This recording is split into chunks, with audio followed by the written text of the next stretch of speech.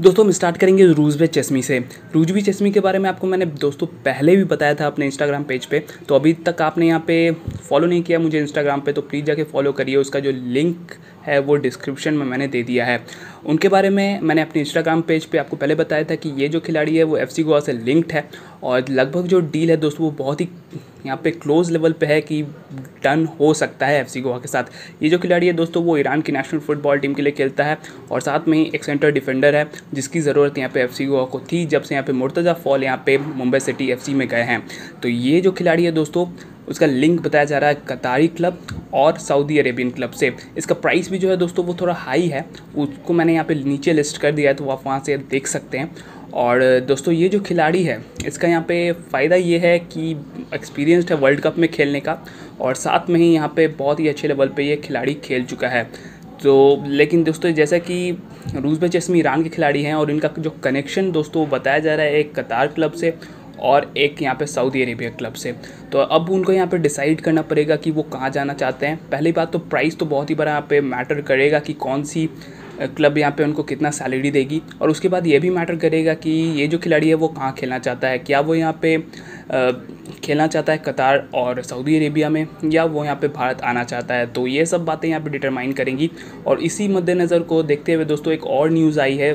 Related यहाँ पे F C Goa से ही और सेम पोजीशन के लिए यहाँ पे उनका नाम है सीको फ्लोर्स जो कि यहाँ पे स्वानसी सिटी एफसी के पुराने खिलाड़ी रह चुके हैं। लगभग पचास से ज़्यादा मैचेस खेले उन्होंने स्वानसी सिटी एफसी के लिए और लगभग दो या तीन गोल्स किए हैं उन्होंने। तो ये जो खिलाड़ी है दोस्तों, वो भी लिंक्ड बताया जा रहा है एफसी गोवा से। यहाँ पे हाल ही में सबसे लेटेस्ट यही अभी अपडेट्स चल रहा है। ट्रांसफ़र रूमर्स जो भी आते हैं, उसमें सीको फ्लोर्स जो अभी टॉप पे हैं और यहाँ पे उनका लिंक बताया जा रहा है एफसी गोवा से।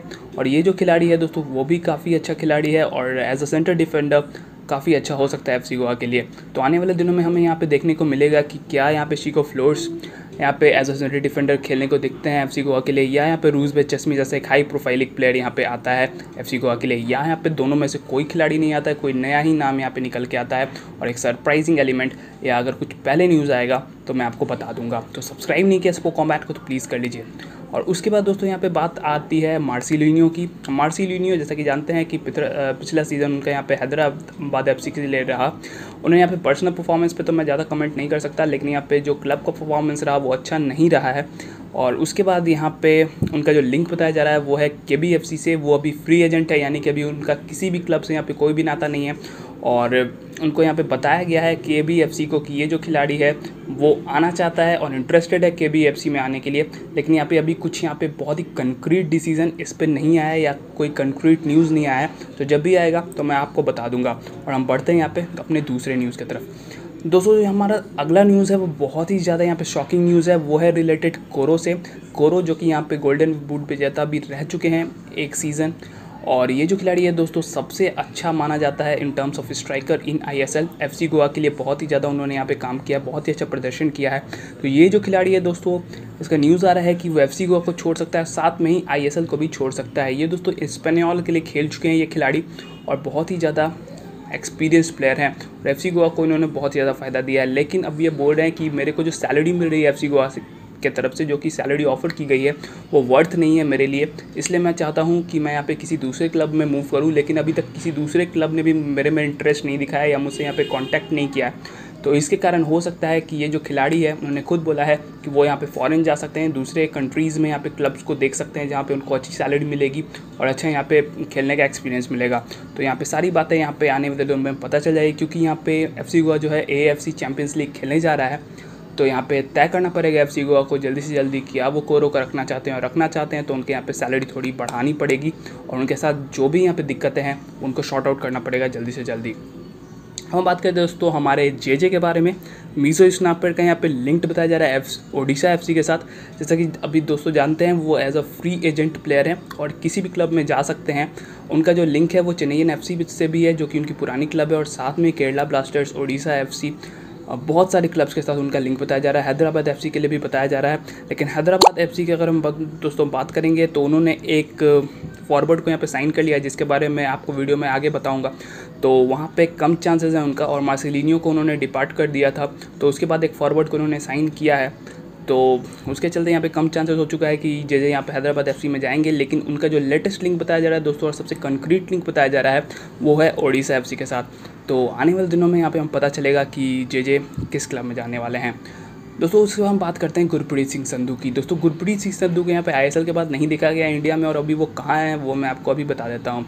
तो गुरप्रीत सिंह संधू अभी हैं ऑस्ट्रेलिया में और एरिक पारतालू जो कि उनके यहाँ पे को पार्टनर हैं उनके जो टीम के मेंबर हैं, बेंगलुरु एफसी के लिए उनके साथ यहाँ पर ट्रेन कर रहे हैं ऑस्ट्रेलिया में। और ऑस्ट्रेलिया में दोस्तों वो इसलिए हैं क्योंकि उनकी जो वाइफ है, वो यहाँ पे ऑस्ट्रेलियन है, ऑस्ट्रेलिया में ही रहती हैं और उनका जो सेकेंड होम है, वो दोस्तों सिडनी, यानी कि ऑस्ट्रेलिया में है। तो इसीलिए अभी वो वहाँ पर हैं और काफ़ी ट्रेनिंग कर रहे हैं। चाहे तो आप उनके इंस्टाग्राम पेज को यहाँ पर जाकर फॉलो कर सकते हैं तो वहाँ आपको सब कुछ जानकारी उनके बारे में मिल जाएगी। बहुत ही अच्छी से ट्रेनिंग कर रहे हैं तो उसमें कोई भी दिक्कत नहीं है। और वो जैसे ही यहाँ पे इंडियन फुटबॉल टीम यहाँ पे वापस आती है एक्शन में या बेंगलुरु एफसी आती है वापस एक्शन में तो वो आपको खेलते हुए दिखेंगे। उसके बाद बात कर लेते हैं दोस्तों हम रॉय कृष्णा के बारे में। रॉय कृष्णा का यहाँ पे कॉन्ट्रैक्ट जो है वो एक्सटेंड कर दिया गया है ए के लिए 2021 सीज़न तक के लिए। तो ये जो खिलाड़ी है, अब अवेलेबल होगा ए के लिए। आने वाले एक सीज़न के लिए। और यहाँ पे इनका भी यहाँ पे चर्चा आ रहा था कि ये जो खिलाड़ी है, वो दूसरे क्लब में जा सकता है, क्योंकि यहाँ पे कुछ कॉन्ट्रैक्ट एक्सटेंशन ये वगैरह का यहाँ पे कोई कंक्रीट न्यूज़ नहीं आया था या उनको कुछ पता नहीं चला था। और ये ऑप्शन तराश रहे थे कि ये बाहर जा सकते हैं, लेकिन अब ये बिल्कुल तय चुका है कि ये जो खिलाड़ी है, वो रहेगा ए टी के के साथ ही। दोस्तों, अगर आपको वीडियो अच्छी लग रही है तो प्लीज़ वीडियो को लाइक करिएगा सब्सक्राइब करिएगा चैनल को अभी तक कमेंट नहीं किया, कुछ तो ज़रूर कमेंट कर दीजिएगा, और वीडियो में हम आगे बढ़ते हैं। दोस्तों, मेसी बाली आपको पिछले सीज़न खेलते हुए दिखे थे केरला ब्लास्टर्स एफसी के लिए। लेकिन अब यहाँ पे न्यूज़ आ रहा है कि ये जो खिलाड़ी है दोस्तों, वो लिंक्ड है उड़ीसा एफसी के लिए। और साथ में ही, जैसा कि मैंने आपको पहले बताया कि जे जे भी लिंक्ड है यहाँ पे ओडिशा एफ़ से। तो ये बिल्कुल तय है कि ओडिशा एफ़ सी यहाँ पे फॉरवर्ड्स के तलाश में है। और वो किन फॉरवर्ड्स को साइन करती है, एक सिंगल फॉरवर्ड को साइन करती है, मुझे जब भी पता चलेगा दोस्तों तो मैं आपको सबसे पहले बताऊँगा।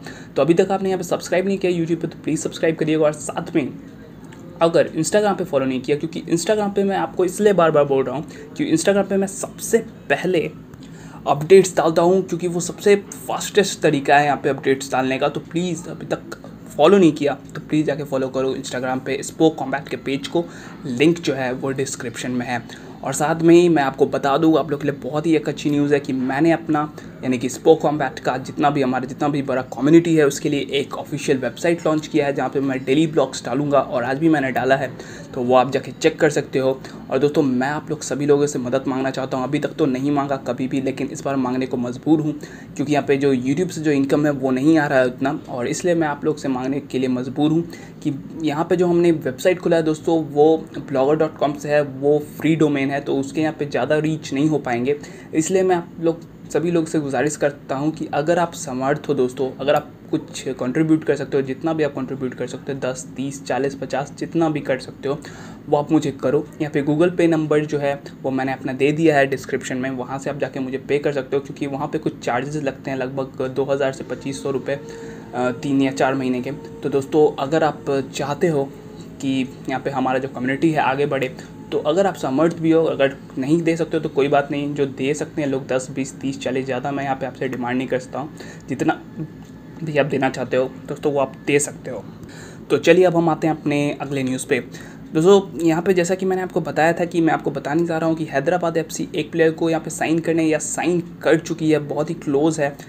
जो कि यहाँ पे फॉरवर्ड का रोल प्ले कर सकते हैं उनके लिए जिनका नाम है दोस्तों जोएल चियानिस और ये जो खिलाड़ी है दोस्तों, वो ए लीग में खेल चुका है मलेशियन प्रो लीग में खेल चुका है और बहुत ही अच्छा खिलाड़ी है। तो यहाँ पे हैदराबाद एफसी जो जिनका जो प्रदर्शन रहा था, वो पिछला साल उतना बढ़िया नहीं रहा था। तो जोएल चियानिस हो सकता है कि एक चेंज ला पाएँ यहाँ पे इस टीम में। तो आने वाले दिनों में हमें देखने को मिलेगा। और अब हम बात कर लेते हैं थोड़ा सा इंटरनेशनल फुटबॉल अपडेट्स के बारे में। तो तो लिवरपूल लेटेस्ट यानी कि न्यूएस्ट चैम्पियन है इंग्लिश प्रीमियर लीग की।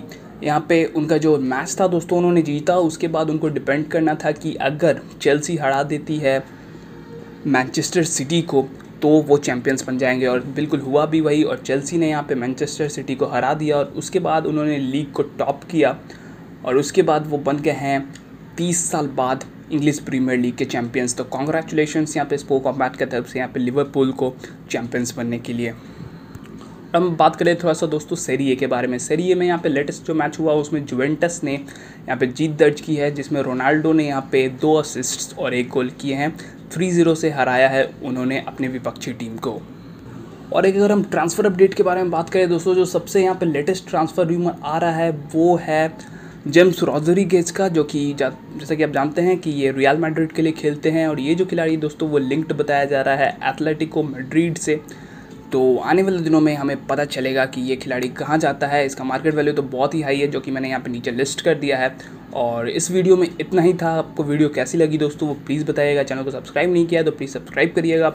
और बेल आइकन को दबाते हुए जाइएगा। कमेंट ज़रूर करिएगा आपको ये जो सेगमेंट है, वो कैसा लगा? क्योंकि मैं ये जो सेगमेंट है दोस्तों, वो थर्सडे ट्यूज़डे और फिर सैटरडे को कंटिन्यू करने जा रहा हूँ। और संडे को एक स्पेशल वीडियो आएगी हर वीक तो एक वीक में चार चार वीडियोज़ आएँगी, तीन न्यूज़ की वीडियो और एक जो वीडियो है दोस्तों वो संडे को आएगी. स्पेशल वीडियो होगी कोई किसी एक खास टॉपिक पे. आप मुझे उसका सजेशन दे सकते हो.